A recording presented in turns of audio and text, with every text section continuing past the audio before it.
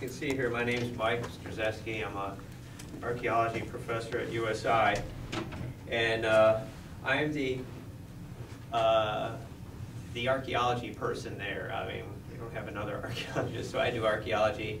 Um, I do archaeology of the, the Midwest, um, particularly in the last few years. Uh, we did uh, some excavations at New Harmony, at the Harmonist Pottery Kiln. And uh, last summer, we did excavations uh, in and around the site of uh, Fort Ouiatenon um, near West Lafayette. And I've been working in the Midwest for the past 20 years or so, and a lot of my, I guess my roots in archaeology are in prehistoric or pre-contact archaeology, depending on what you want to call it. Um, so although I've been doing a fair amount of uh, historic period uh, stuff in the last five, seven years or so, um, I still intend to get back to my roots at some point in time. Um, but uh, the talk that I'm going to give today, obviously, is about Yankeetown culture in southwestern Indiana.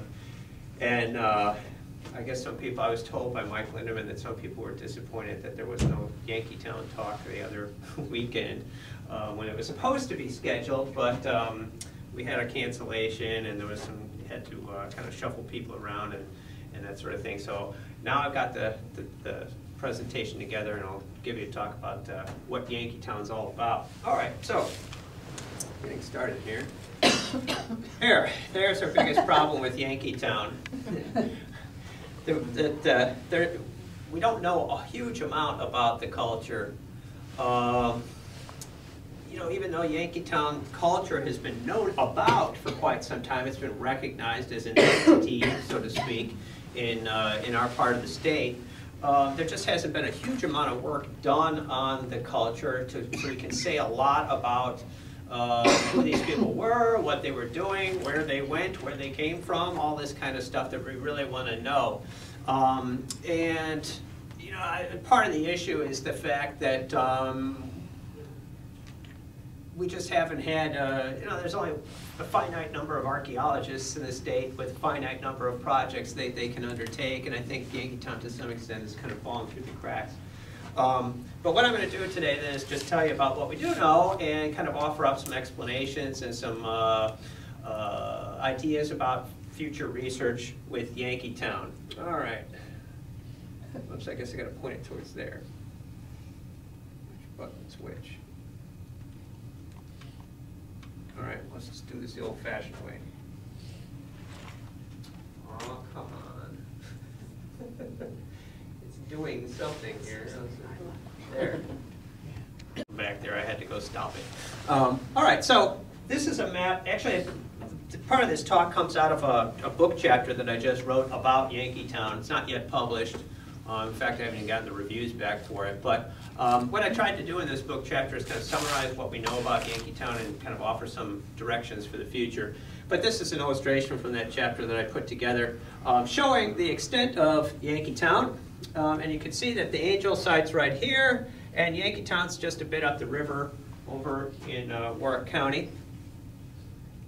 Now, from what we know, the, the carbon-14 dates that we have for the Yankeetown culture um, we would like to nail this down a whole lot better than we have already, but uh, from what we know, it extends from about 700 to 1200 AD, and it's a time period that we call the Late Woodland. And overall, there are about 150 Yankeetown sites known, uh, most of which are from uh, Indiana side, although there are some from Kentucky and, and Illinois as well. So, Brian Redmond did a uh, dissertation on, on the Yankeetown culture back in 1990. And one of the things that he did was to look at all the Yankeetown sites that were out there and sort of characterize where these sites are located. That's one of the things he did, was to help characterize where these sites are located. Where are Yankeetown peoples preferring to live? And what he found is that almost all Yankeetown sites are located on high spots near or on floodplains, right? So you know, that we've got all these different floodplains. You know, here's Angel right there. These floodplains. Yankeetown people seem to prefer these floodplains, probably because they're making their living as agriculturalists, and the floodplains are the best place to do that, right? You've got these floodplain soils that are sort of self-renewing. They flood, they uh, bring nutrients with the floods, Um, and uh, the soils are relatively easy to turn over when you're gardening uh, implements are a digging stick and a, and a, shell hoe and that sort of thing. You can turn those soils over and they're very rich, productive soils. So that's why our Yankeetown folks are probably choosing these spots on the landscape. Now, this is you know where our knowledge gets a little bit fuzzy. Um, before about, oh, stop. so, how are people making a living? What were they doing to feed themselves? Well, we're virtually certain that what they were engaged in doing was growing a number of plants that we call, that archaeologists call the EAC domesticated plants. The Eastern Agricultural Complex is what it is.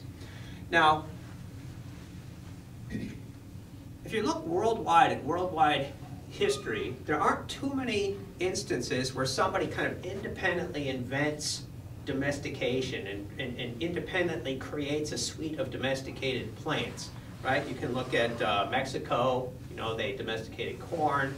Uh, you can look at the, the at the, uh, the Middle East, you know, they domesticated uh, wheat and, and a number of other plants, or, or the, look at China, rice. Um, but there's not too many instances of this thing occurring worldwide.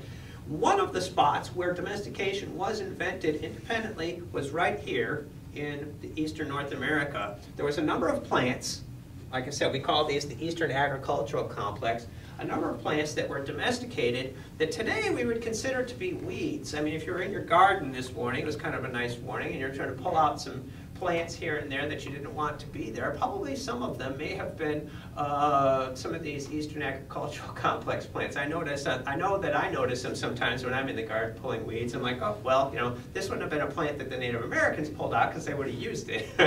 But like I said, today we consider many of them weeds.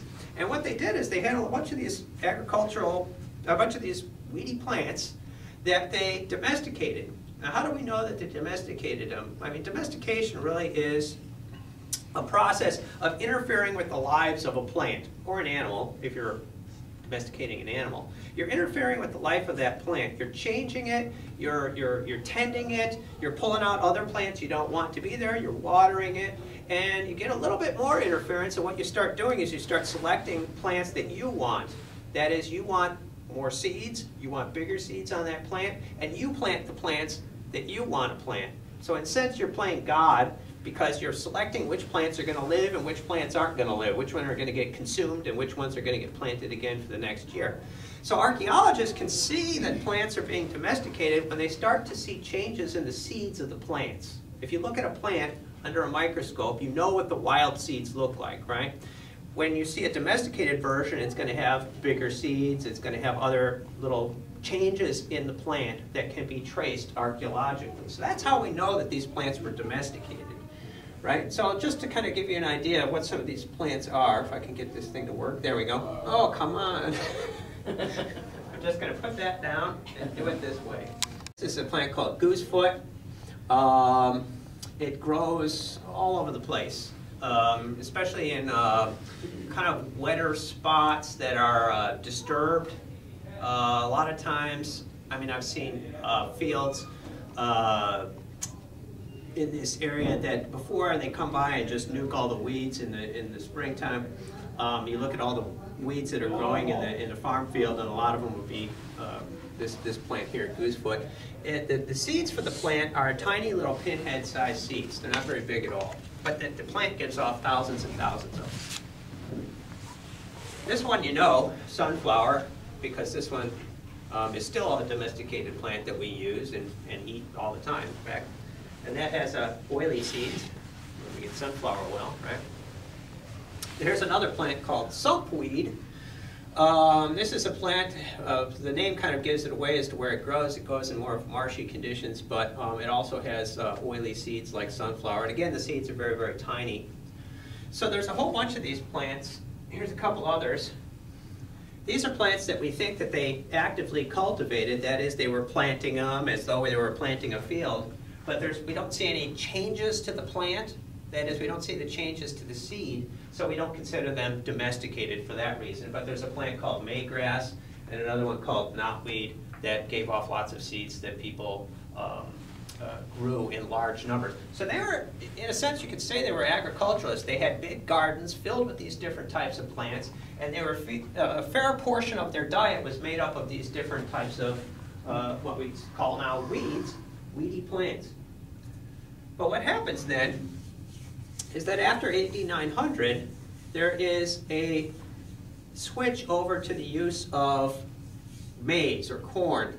We don't know exactly when this happened. Again, there's a lot of gaps in our information about Yankeetown culture, but it was sometime in this area where the switch to corn happened.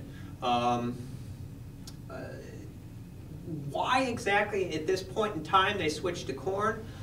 You know, to be quite honest, we have evidence for, for corn at a lot earlier sites um, there's evidence for corn at sites that date back to, I'm trying to remember the dates now, as early as uh, around 200 BC, I believe, are the earliest dates for corn. But it took them a while before they finally switched over to it. Um, and corn is a plant that gives has lots and lots of seeds. They're big seeds, and there's some obvious advantages over those, those weedy plants. So they jump ship. They stop growing most of those weedy plants with the exception of sunflower and they switch over to growing corn. So our Yankeetown people are the people that made this, this transition. All right, a little bit about background on how we know what we know about Yankeetown.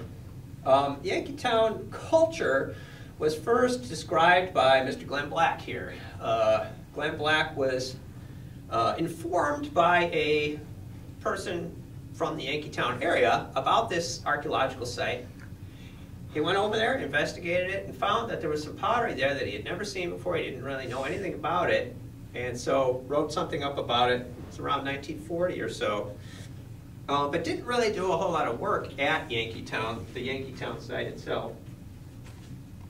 Uh, the first more, you know, kind of major uh, treatment of the Yankeetown uh, culture was by Emily Blasingham, um, who wrote her master's thesis at IU on Yankeetown pottery and um, tried to take all this variety of ceramics, which I'll show you and talk about later, and try to create some kind of order to figure out what the different types of pottery were and, and, and try to put them in different types and that sort of thing. As you can see, it's, as I'll talk to you about this later, it's, it's been really problematic. But it wasn't until the 60s that the first large-scale excavations were conducted at uh, the Yankeetown site proper. Um, now, what, the reason that they did these large-scale excavations over a period of years um, was because of the, uh, the Newburgh uh, lock and dam that was going to raise the level of the river. And they knew that the site was already being eroded into. That is, just the, over the years, the course of the river has been chopping into the site little by little over many years. And um, they figured, okay, well, if we're going to raise the level of the river, what's going to happen is it's going to make that a lot worse. So they decided, all right, in order to salvage some information from the site, what we're going to have to do is go in and do some larger scale excavations, identify the features, and, and salvage them before this thing gets completely destroyed. So that's exactly what happened over a number of years. Here's some some shots. This, this is from the 1950s showing that this erosion was happening, like I said, even before they uh, raised the, the, level of the river. Um, this is Hilda Curry uh, salvaging a feature that's eroding into the river. And you can see you've got this big bank here that's just stuff kind of eroding out. And it continues up to the present day. Uh, this is Rex Garniewicz uh, formerly with the uh, Indiana State Museum. Um, and in 2008, he's uh, got a, uh, a ladder there that he's used to climb up the edge of the riverbank there, and he's salvaging some features that are continuing to erode out of the riverbank even up to the present day. So there's another shot of the same thing. And you can see Michelle Greenan down there lamenting, I think, the fact that these features are all are eroding. Here's a shot of some of those 60s excavations in progress. What they did is went to the edge of the river, the places that they thought were going to be destroyed, and tried to salvage the features there. See, you got a backhoe. and they opened up some pretty large areas. You can see the scale on this particular excavation. This is from 1967, the year I was born. um, here's, this is 10 feet, so you can see that we're talking about an area that's at least 50, 60 feet in, in, in, uh, in extent, and they identified a whole bunch of features there and, and excavated those. And as I mentioned just to, previously, that the work at Yankeetown is kind of ongoing. Um, I think the last time they were out there was 2009, if I'm not mistaken. I personally have not worked at the Yankeetown site, but um, this is a shot of uh, magnetometry work that was done at the Yankeetown site in 2008. That's uh, Scott Hipskind and Colin Graham from IPFW uh, Archaeological Survey. What they did was um, take a magnetometer, that's what this gizmo is right here, take a magnetometer and walk over large portions of the site to see if they could identify the locations of features. First of all, to see if there are any features remaining, because it, like I said, it is eroding back. And if there are features remaining, where are they located?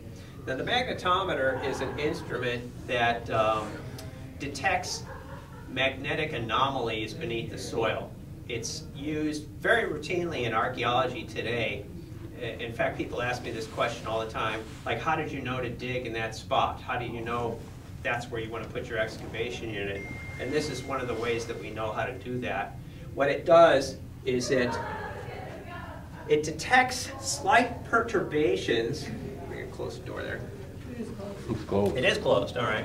all right. I guess I'll just, just bear with it. Anyhow, so um, what it does is it detects slight perturbations in the Earth's magnetic field. So the Earth's magnetic field is just you know all around us all the time. We don't really know it's there because we have no sense to detect it.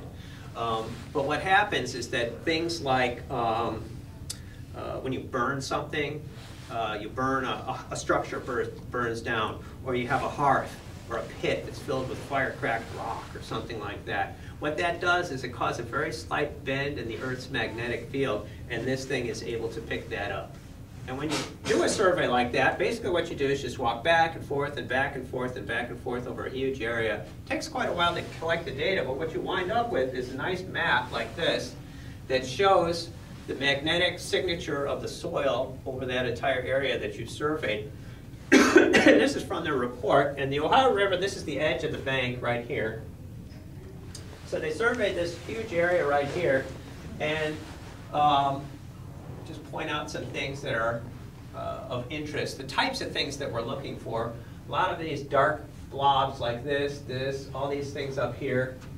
These are almost all features of some kind that are of interest to archaeologists.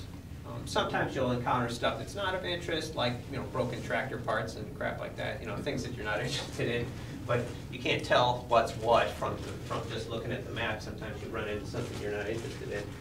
But uh, there's a whole bunch of features still at the Yankeetown site that they were detected using the magnetometer. Now what they did then is put in some excavation units near the edge of the, the bank um, to see if some of these are some of these are in fact prehistoric features You can see there's a variety of units that were put in there. Here's some of the results. Uh, this is a part of a structure that was uh, excavated by the State Museum in 2008. Um, part of a structural basin. That is, you can see here's the edge of the structure right there. They didn't excavate the whole thing, but they did identify a structural basin. And other features.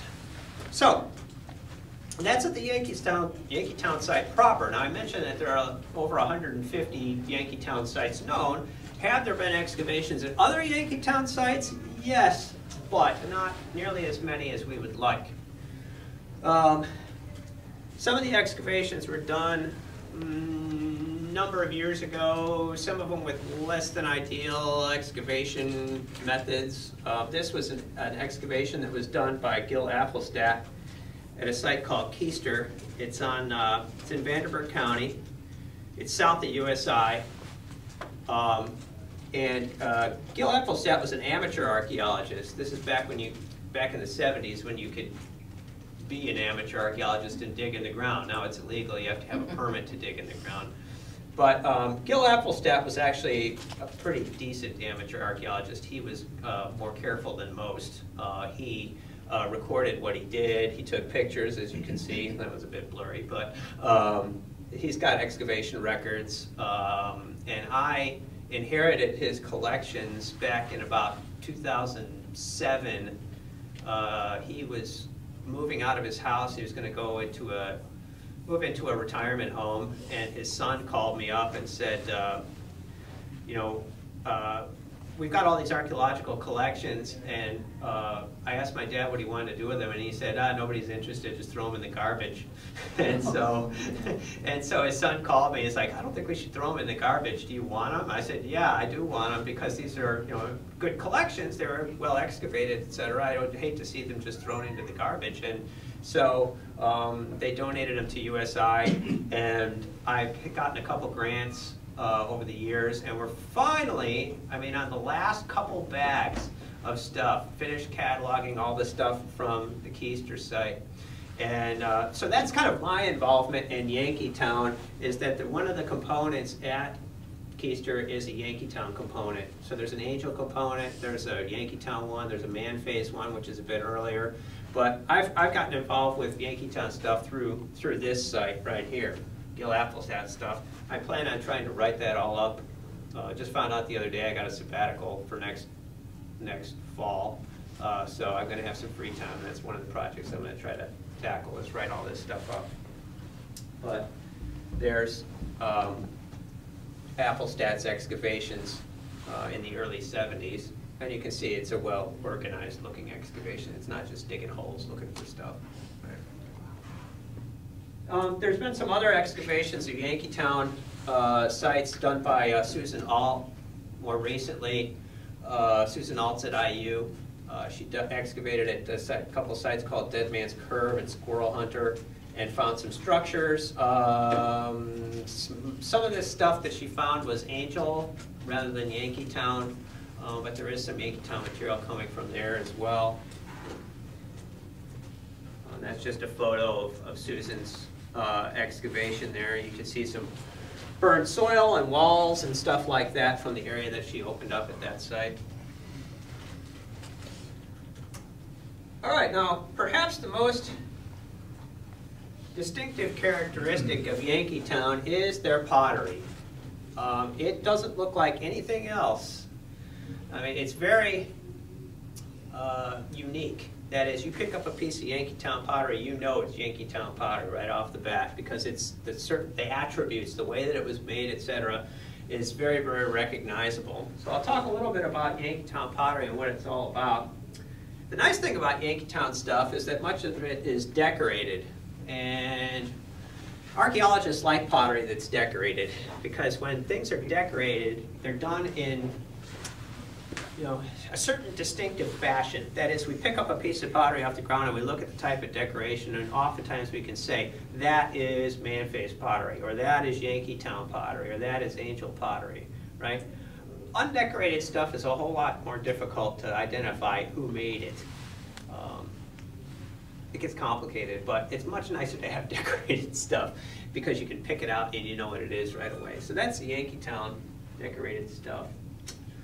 One thing that also about Yankeetown pottery that's somewhat distinctive is that it's grog tempered. I'll explain what that means. I've got a whole bunch of Yankeetown pottery here that you can come look at after I'm done talking.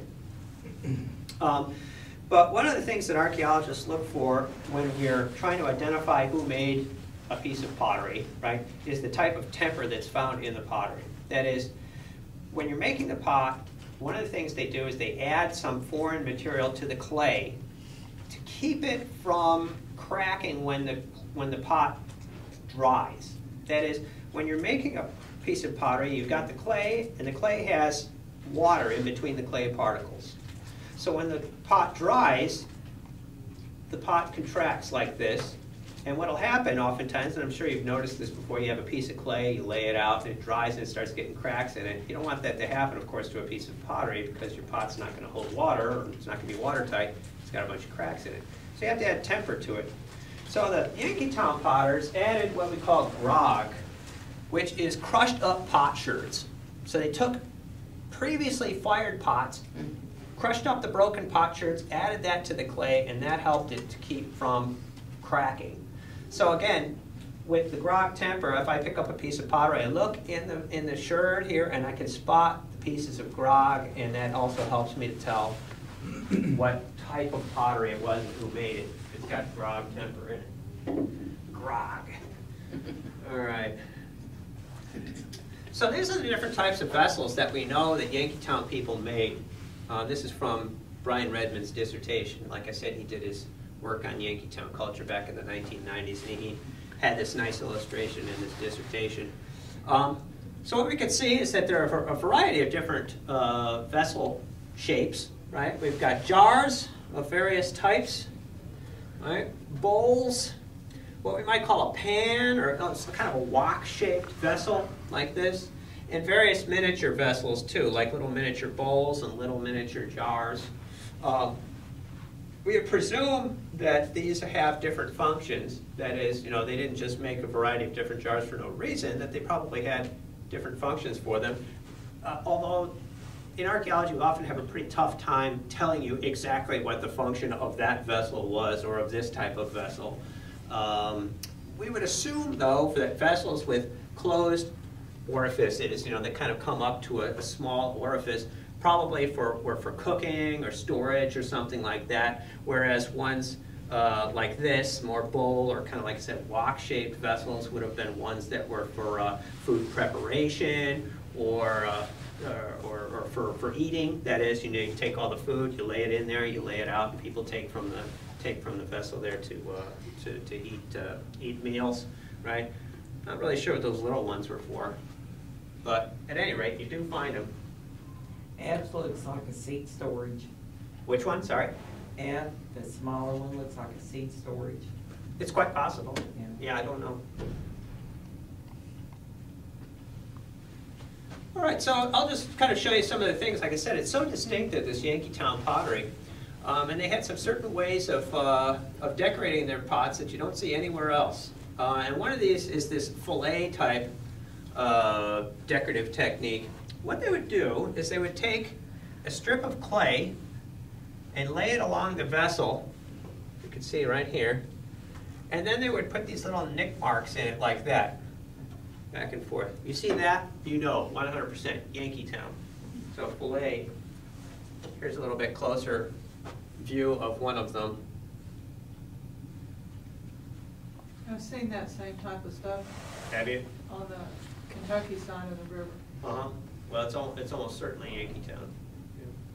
I have some pieces. Do you?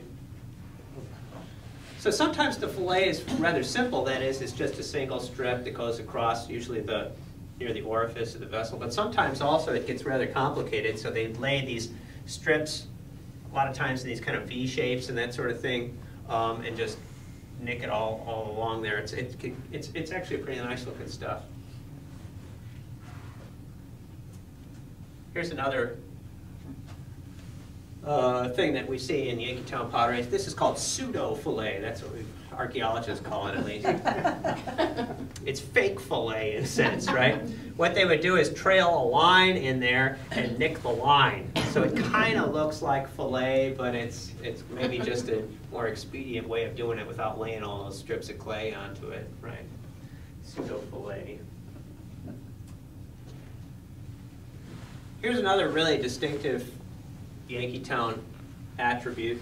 This incising of the vessels into semi-hard clay. That is, sometimes people would decorate their pottery when the clay was wet.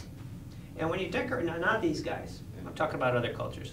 Sometimes when they would do that, when they would decorate the pottery when it was wet, that is, you can tell there's almost like a trough in the clay where the finger went along or whatever tool they were using to make the design, right? It kind of it almost looks like you're plowing through the clay because it kind of you, know, you can see the clay kind of parting on either side.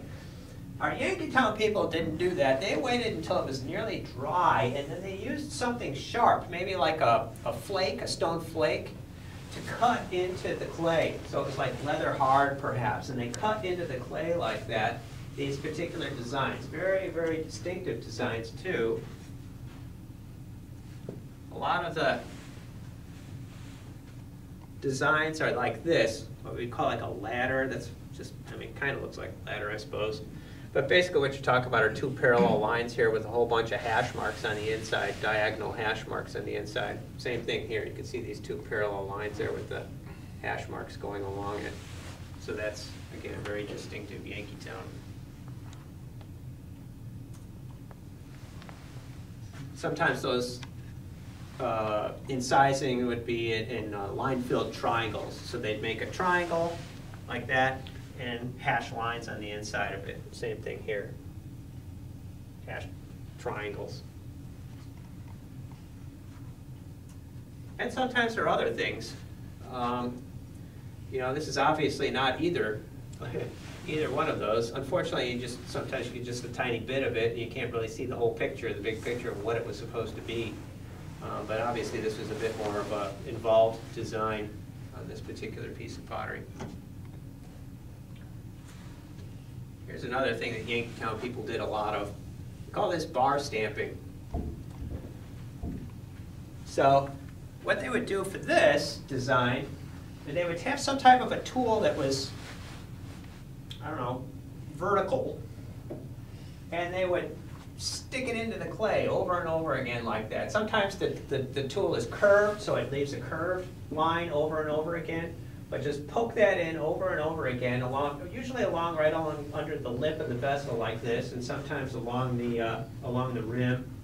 Right, but just poking that in over and over again along the edge of the vessel, that's called bar stamping. There's it a little bit closer.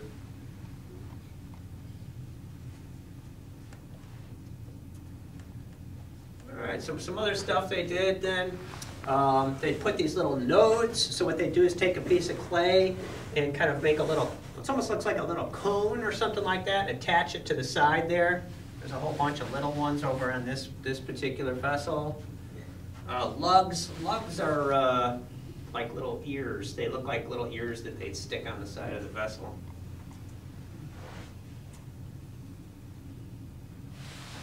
Here's something we call punctate. So you can see this particular shirt here, what they've done is bar stamped it all the way here, and then they've stuck something in there, like directly into the, into the clay, same thing here. This one's kind of got just a circle. It looks like it might be a, a stalk of grass or something like that. It's relatively small, so they poked that all along here. This one was kind of interesting because I looked at it up close, and uh, there wasn't a reed, it wasn't a stalk of grass or anything like that. I finally figured out what it was. It was a crinoid stem, which is a fossil.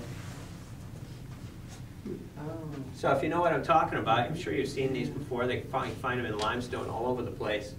But they have this sort of, you know, radial design to them, and I could see the impressions of the crinoid stem in the clay. So they used a fossil to decorate that pot or piece of pottery, which is kind of neat. All right, so here's the big problem.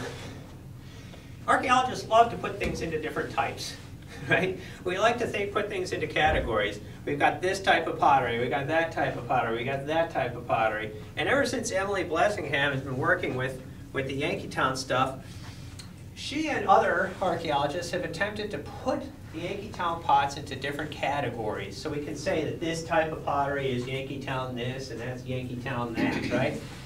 I've basically given up that task because what I've found in looking at Yankeetown pottery is that there's so many different ways of decorating it and they're all in just different combinations that there don't seem to be a whole lot of, let's say, rules as to how to make a decoration on a pot. One guy would stick a bunch of nodes on there, put hash marks all over there and bar stamp it. Another guy would stick some nodes, punctates, some hash marks there. This guy would do this, this guy would do that, that guy would make a ladder design. I mean, there are some things that you see over and over again, but the combinations are unique, as far as I can tell, that I don't see much point in trying to a very painful process, let's just say, to try to create some types.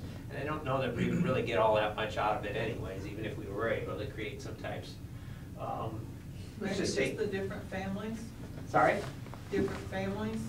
Oh, There had to have been it's a possible. lot of people who did pottery, Mhm. so. No doubt, yeah. It was a handed down tradition, like a, a lot of things, you would Mhm. think that maybe that a certain family that taught their children would have Right. maybe some of the same markings. No, I don't doubt Perhaps. that. Yeah, that a certain lineage or people from a certain clan would decorate their pottery in a certain manner. But yeah, it's tough to pick all that, pick out any, any types there. So I'll just show you a couple more different ceramic artifacts that they have at uh, Yankeetown, that we find in Yankeetown sites. These are ceramic beads that were found by a state museum in 2008. Um, we also know of ceramic figurines, which are somewhat unique. We don't see a lot of this kind of stuff in the archaeological record of our part of the country. Um, but Yankeetown people did make little, little figurines of people.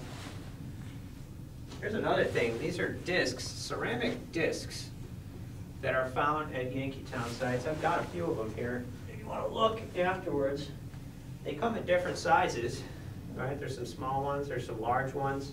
They're ground or flaked and ground into a circular shape, an old sherd, right, piece of a pot. Um, What they're used for, we don't know for sure. They could have been some type of a gaming piece uh, that involved using these disc-shaped game, gaming pieces, you know. I'm not exactly sure what they were used for. That's the thing about archaeology, we don't have all the answers, but. All right, so here's one of our big questions about Yankeetown. And this is going to relate back to what's going on here at Angel. And this is the sort of thing, this is the question I was really trying to address when I wrote this chapter. It's like, what is the, where did a Yankeetown come from and what happened to it? Right? So, what was its relationship to the things that came before? So the thing that came before Yankeetown was, is called Mann phase. Uh, Probably many, many of you have heard of the Mann site. Um, and that site was occupied up until about 500 or so-ish, right?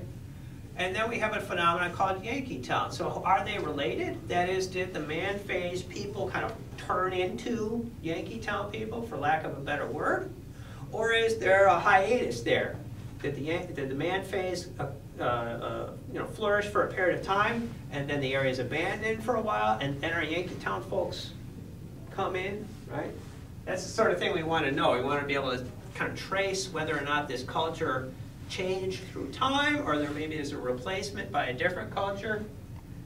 And the other thing we want to know is towards the tail end of Yankeetown, right? So where did it come from and where did it go? So did Yankeetown change into the Angel phase? Did it become the folks that, that built this place? Right? So those are the questions we're trying to deal with when we're talking about Yankeetown. So this is just some, this looks rather complicated, but I'll explain it. What I did is I compiled all of the radiocarbon dates that we have for Mann phase, for Yankeetown, and then these are some of the angel dates, the early ones. I didn't put the later ones in because I was really interested in this transition, so the later ones really didn't concern me. But what you find here is that we've got Mann phase dates that go all the way from eh, 100 or so AD up to about, there are some dates that even look like they might be around 600 or later, or later. Um, Particularly at uh, this Keister site that I've been working with, we've got some pretty late dates there. But what you see then is there seems to be a short hiatus. There's not a good deal of overlap between Mann phase and Yankeetown, nor do we see any kind of transition. That is, you might expect something around here to look kind of like Angel, or kind of like uh, Mann phase and kind of like Yankeetown. That is, they're in the act, they're actively transitioning from one cultural type to another. You- you- We just haven't seen anything like that up to this point. So my guess is, at least at this point, that there seems to be some kind of a gap right here. A small one, maybe, 100 years perhaps. but there does appear to be some kind of a gap right here. If you go down to the other end of, of Yankeetown over here, it's different.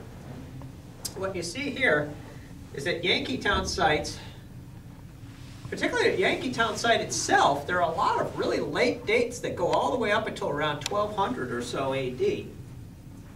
These dates are virtually identical and overlap just about completely with the very early angel dates. Okay? So, what that at least says on the surface is that there's some Yankeetown people here and angel people here at the same time. Huh. Well, if you remember that map that I showed you at the beginning, Yankee, at the Yankeetown site and the Angel site aren't that far away from one another. I forget how many kilometers it is or how many miles it is, but it's not that far. If these guys were here at the same time, you would expect some evidence for interaction. That is, you know, Yankee Yankeetown folk come over to Angel, you know, do some trading or something like that, and vice versa, perhaps. Right? That is, if they were on friendly terms. They may not have been, we don't know. So this, I just put this here to show you that there's a pretty good overlap between Mann phase extents and Yankeetown ma- phase extents. The dark stuff here is Mann phase, right? And there's the Mann site in Posey County. And the Yankeetown phase and Yankeetown site, so they're, they're just about occupy the same space. So where did those Yankeetown motifs come from? All that fillet and the incising and all that kind of thing? Does it just drop out of the sky? Where the heck do these people come from, right? if you look at the Mann phase pottery, you don't see any of that stuff. This is stuff from, uh, is it from Mann site or Keister? I forget. I forget what side it's from. But at any rate, you don't see any of that Yankee, those Yankeetown uh, pottery motifs.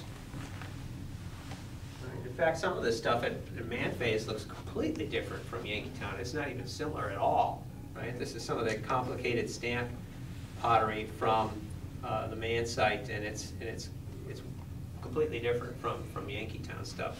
So we just, we just don't see a nice transition from Mann Phase over to Yankeetown. And like I said, we still have that gap there, that temporal gap that needs to be looked at a little bit better. All right, same thing, relationship between Yankeetown and Angel. Here's Angel phase right there, the dark. There's Yankeetown, a little bit more extensive. Um, But again, if we're trying to trace out these pottery motifs, you don't see anything that looks like a transition from Yankeetown to Angel. So if these Yankeetown folks became Angel phase people, we haven't seen it yet in the archaeological record, right? This is, this is some angel phase pottery from the Keister site. It's, it's virtually all plain, vessel shapes are different. It just looks a lot different from the angel, uh, from the uh, Yankeetown stuff. So those are some, you know, some of the questions we're trying to address is where this thing came from, where did it go, and it's, what's its relationship to these other cultures. And this is an interesting thing to point out. Like I said, Angel Site and Yankeetown Site are very close to one another. You would expect some kind of interaction between them if they were occupied at the same time. If you look at the pottery that's been recovered from Angel, there is virtually no Yankeetown pottery at Angel. And there's a few sherds here and there, perhaps. Um, but you would expect more if they were neighbors, let's say, for an extended period of time. And, and vice versa, that is, at, at Yankeetown, you don't see a whole lot of angel pottery in the Yankeetown levels. So there's some real questions there that have yet to be answered, and I can't pretend to have the answers at this point in time. Um, so there's really little evidence for interaction between these different cultures. Here's my guess, though, if I were to throw out an opinion on the matter as far as the transition from Yankeetown to Angel, I would say that probably Yankeetown does not have does not seem to have changed into Angel, despite the fact that it comes before Angel. It seems to be a different game. They're doing something different. Their material culture is a whole lot different. And particularly with some of the early dates they have now from Angel, they did coring in Mound A, found some really early dates in Mound A. It would appear that the Angel folks, at least some of them are people that came from somewhere else. That arrived in this part of the Ohio River Valley and started setting up a mound center right here, right? Now, whether or not they were on good terms with the people, the Yankeetown folks who are here, it remains to be seen, right? You know, they could have been invited. They could say, okay, yeah, come in here, set up this mound center, we'll, you know, kind of cohabitate here in this part of the Ohio River, or they could have been invaded in a sense, right? You know, some people show up, they're like, eh, eh, move over, you know, that kind of thing. We're building a mound center here. And uh, they could have been hostile towards one another. We just don't really know. But if I were to venture a guess, like I said, I would say probably that these Angel Peeps were probably immigrants from somewhere else, maybe somewhere farther down the Ohio River Valley, would be my guess. Um, and they were looking for a place to set up an Angel or set up a uh, Mississippian Mound Center. So that's all I have to say. And what I've got is some Angel pottery, or some uh, Yankeetown pottery here. I can, I can answer questions, and you can come up and have a look at the pottery, and, yeah, Marjorie. In which the, uh, the, uh, building was probably, was like angel buildings. Mm-hmm. And I, do you know what Yankeetown houses look like? Or anybody found any? Well, they did have that house basin over at uh, the, the State Museum, Uh-huh. found in 2008. They, it was just a a rectangular outline, there were no posts or anything like that, so they're not exactly sure how it was constructed. I don't think we have a real great idea about what, what Yankeetown houses look like yet. But if you found an angel phase Mississippian type house. Yeah. As I understand it, the Keister site. Yeah. With Yankeetown pottery. Yeah. And your conclusion, if I understood your talk correctly, was that there was, might be a, a Mississippian trader who was in here on friendly terms Mhm. with, and or intermarrying with some of the Yankeetown people who were, and the women probably made the pottery. I was a bit more certain about that when I gave the talk. Oh. Okay. At this point in time, I'm kind of doubting my conclusions about that site. Okay. Um, You've got Yankeetown stuff and Angel at about the same level, and I'm not sure that they were there at the same time. They could have been, but they might not have been either. So that's the problem.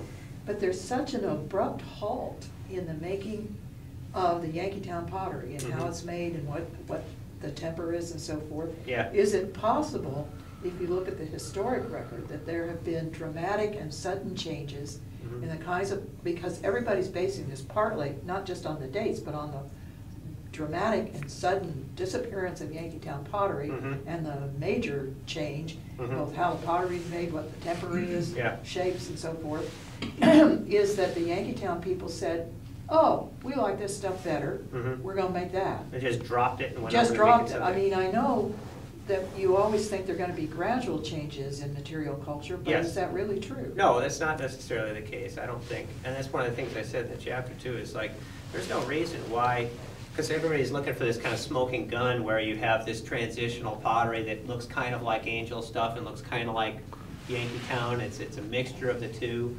Um, but there might not be a smoking gun.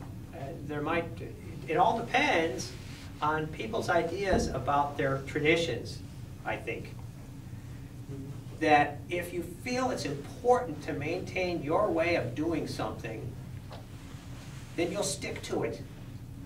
No matter who's around here, you know, that kind of thing, you know, you'll resist. You'll, you'll resist to changing things because you feel it's important that you maintain this way of doing things. It's your traditional way of making pottery, right? But if you don't care, that is, it's not important to you. If somebody shows up with a new technology and they're very powerful and they got chiefs and big mounds and all that kind of thing, you might say, well, you know, I'm going to jump on board and get on the bandwagon, get on the Mississippian bandwagon and just forget about the way that we were doing things. So, yeah. Well, it's also, isn't it, that it might be easier to make uh, the Mississippian pottery. If the women were having to do all this work, and Mhm. putting little fillets and Right. Yeah. hatching it, and when I looked at Yankeetown pottery, it seemed to me that a lot of it was incompletely fired. That is, the outside would be fired really hard, Uh-huh. the inside would be still sort of gray and soft.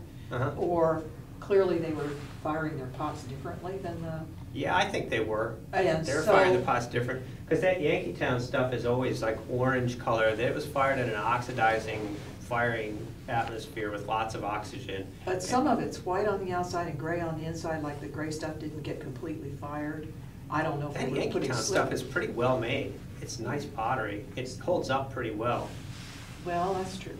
So, but it, maybe it was just easier to use all that, uh, Yeah. shell temper, Yeah. make big giant pots, and maybe they needed to make bigger pots Uh-huh. because they were storing more corn or something. Sure, perhaps. And if the women were doing it, maybe it was just easier.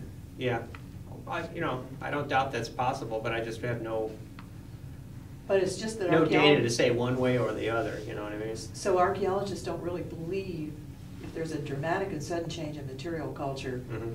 that it could be the same people on either side of that line, or that it's harder to believe. It could be. I think it's a lot more complicated than we think. Because at one time, um, people were, you know, uh, of the opinion that either A- Angel, or either Yankeetown became Angel or it didn't. But I think it's probably a lot more complicated in the sense that you might have some immigrants there who are straight up Mississippian people who arrive in this area and then are influencing or somehow causing some type of cultural change to the other folks that happen to be here. So this is kind of complicated give and take process between the people that were already here and the new people. And I just think there's a lot more work that we need to do to try to figure this whole, whole thing out. There's just lots and lots of unanswered questions. What would you do to figure it out? What would you do? I don't know, good question. Well, I'm gonna work on that Keister stuff for one.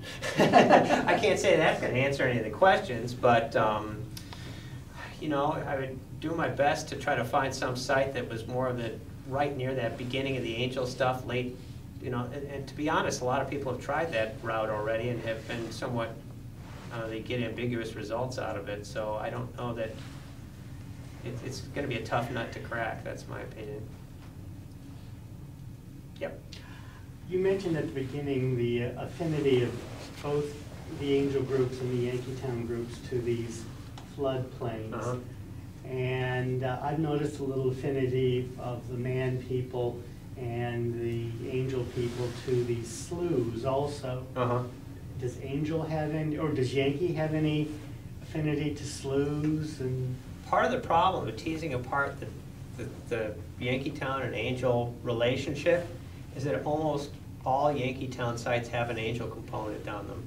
So it's like, you see these sites with Okay. Yankeetown stuff and Angel stuff, and it's almost impossible to tease apart, you know, what, what the relationship between the two is. Like Keister, for example, has Mann phase, but there's a little, there's some separation there in this stratigraphy, and then you've got Yankeetown and Angel right on top of it. And a lot of these sites, same thing. You find Yankeetown and Angel, Yankeetown and Angel all together, so they're picking very similar spots on the landscape. Mhm. And, um, you know, I think that's just a reflection of the fact that they both like the same types of spots. You're looking across landscape, you see a high spot over there, that's a great place to put a little farmstead. We plop it right there, and then there, your angel guy does the same exact thing, because he's looking for the same kind of thing. And then if there's a slough nearby, well, that's a regular Even better. grocery store. Yeah, exactly, yeah. Um, Um, you know, the, the biggest piece of uh, floodplain in the area, uh, Union Township, Mhm. any Yankeetown sites there too? Yes, yes, Keister's in Union Township. Okay. There are, I don't know off the top of my head if there are any other Yankeetown sites in that area. I don't doubt there are, though, I'd have to check. Mhm. Yep. Would DNA analysis solve the problem? Of, I don't know whether Yankeetown has any skeletal material that has been, I don't know of any Yankeetown skeletal material. did they cremate their dead, or is it? I don't know that we really know anything about Yankeetown burial practices. They're Is- just, I don't think that we have any, there aren't any burials from Yankeetown. Yeah. So you can't use DNA so far, anyway, as a way of solving? No, we part of don't that have any mystery. skeletal material from Yeah. Yankeetown sites.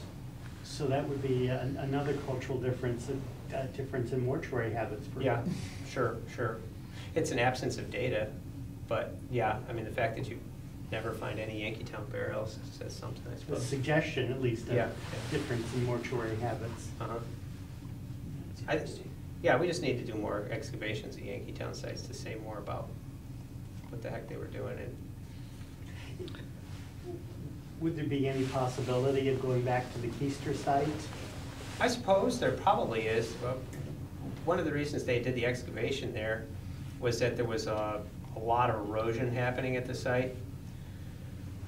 So uh, it was like all this water coming off of an agricultural field, just going through this patch of woods and just cutting these big ditches through the woods. And uh, this Appelstadt um, found just all sorts of pottery eroding out of this ditch and- and realized that there's a big site there, and they did the excavations as a result.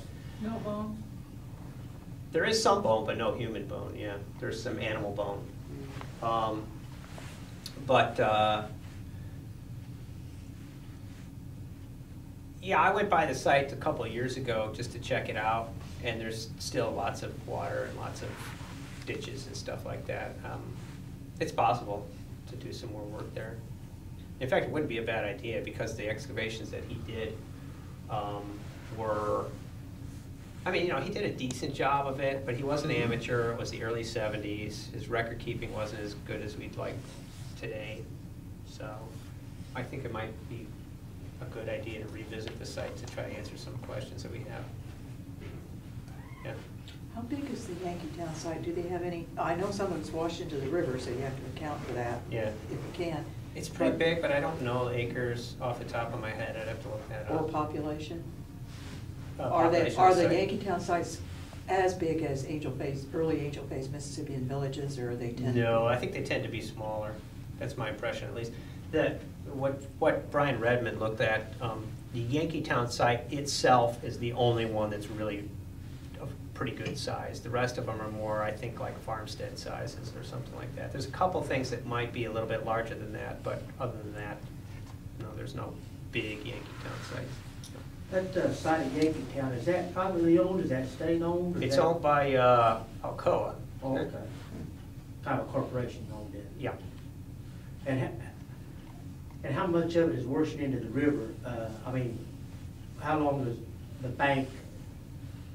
Eighth of a mile? How long is it, Yeah, I how mean- much has eroded since we started looking? No, no, I meant, um, the face along the river. Yeah. That pertains to this, uh, Yankeetown pottery, you Uh. know, the development, is it, uh, an eighth of a mile or a quarter of a mile long along the river? I don't know off the top of my head. I'd have to refer back to the reports. Like I said, I, I personally have never worked at the I didn't know if it was a large length or, uh, It's, it's fairly substantial though, that's my understanding. so there's, It's been eroding forever.